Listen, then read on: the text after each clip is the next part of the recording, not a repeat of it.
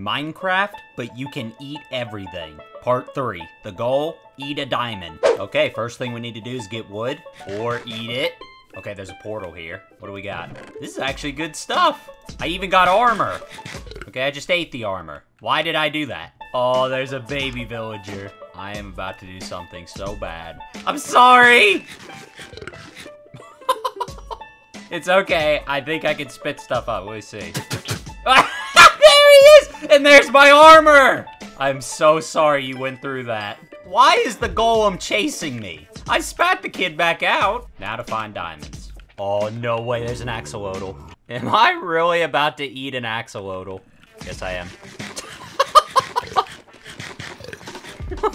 oh my. That was tasty. And finally, here's my diamond. No need for a pick. I can just eat it. Yes!